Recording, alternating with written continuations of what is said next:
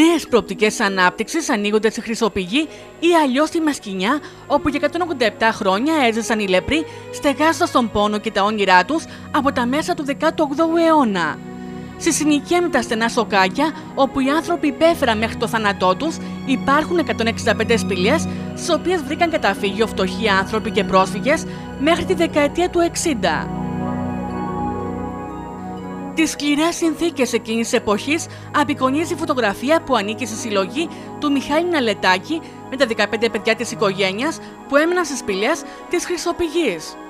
Πριν 17 χρόνια, ο κ. Μανώλης Γιαναδάκης αγόρασε σπηλιές, τις οποίες διαμορφώνει σε δωμάτια, τα οποία θα νοικιάσει σε τουρίστες μέσω της πλατφόρμας τύπου Airbnb. Ήταν το λεπρόνι σπηλιές, τα οποία εδώ πέρα είχα ανθρώπους φτωχούς τέλος πάντων και μετά μου ήρθε η ιδέα να τα διαμορφώσω από ό,τι βλέπεις, να τα φτιάξω. Είναι βαμμένη, ασπρισμένη με ασβέστη.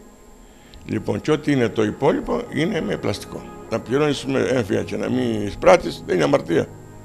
Αυτά μα έκαναν τώρα και εξτροχάλιασαν.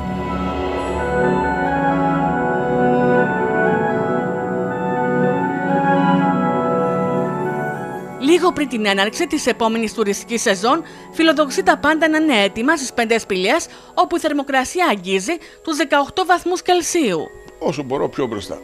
Να προλάβουμε τη σεζόν. Όσοι μπορούν και έχουν σπηλιές, να κάνουν το ίδιο.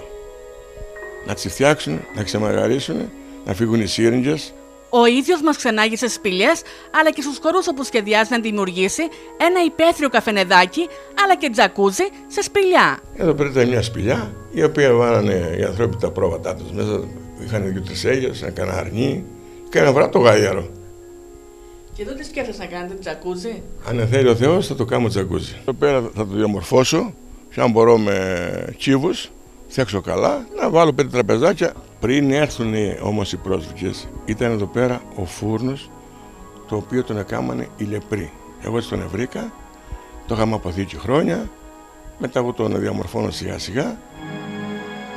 Πέρα από τα υπαίθρια δωμάτια με θέατα αστέρια και οι σπηλιές, αναμένεται να εντυπωσιάσουν τους τουρίστες που επιθυμούν κάτι διαφορετικό στι διακοπές τους, γνωρίζοντας παράλληλα την ιστορία του τόπου μας.